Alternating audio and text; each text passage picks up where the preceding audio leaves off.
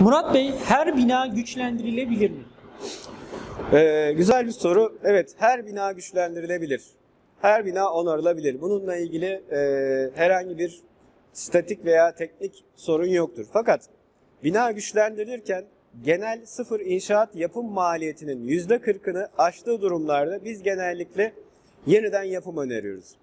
Nedeni ise şu %40 bandını güçlendirme maliyeti aştıktan sonra geri dönüşüm dediğimiz hasar bandı. Yani bir mutfağınızın yapılması, e, bir işte banyonuzun yapılması, duvarlarınız, izolasyon gibi malzemelerle geri dönüşüm maliyetine geçtiğiniz zaman %40 bantını aştığınız andan itibaren e, sıfır inşaat maliyetini geçiyorsunuz.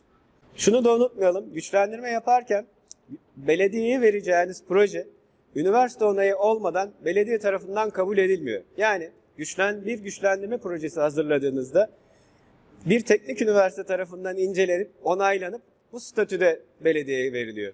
Fakat sıfır bina yaparken bir statik büro tarafından yapılmış proje doğrudan belediye tarafından kabul edilebiliyor. Projenin sağlık, sağlıklı ve sağlamlığı açısından düşündüğünüzde güçlendirme yeni yapılmış bir binanın birkaç adım ilerisindedir.